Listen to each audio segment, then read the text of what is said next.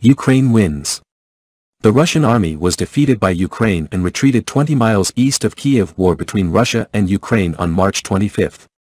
Vladimir Putin's invasion plans are in shambles and the Russian army is unable to defeat Ukraine, the war lasted too long and was pushed back after a series of counterattacks by Ukraine, resulting in the army's defeat. Recaptured important towns on the outskirts of Kiev. Ukrainian soldiers launched a series of attacks on the Russian invaders in the recent hours of today, March 25. The Ukrainian army recaptured defensive positions 35 kilometers 21 miles east of the capital. It is seen as a sign that Ukraine is turning the tide. Ukraine is winning many victories and driving its enemies further and further away from the capital. After this series of victories, they will continue to move towards Hostomel airport, which was captured by Russian forces in the opening stages of the war, the Ukrainian National Defense Forces said.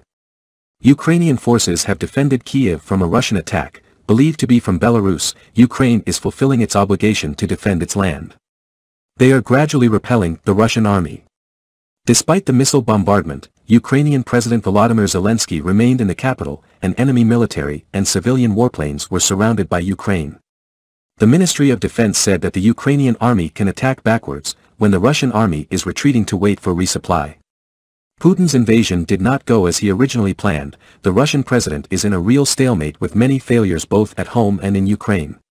Reports of disorganization and misinformation within the Russian military have emerged that Russia's advance has been fragmented. The Russian army partly withdrew, partly opposed the government and did not want to go to the battlefield to face Ukraine. According to an estimate, the number of Russian losses was about 16,000 people, Russia was forced to urgently mobilize more old reserves and young recruits to join the war, in order to have enough numbers to face the war. With Ukraine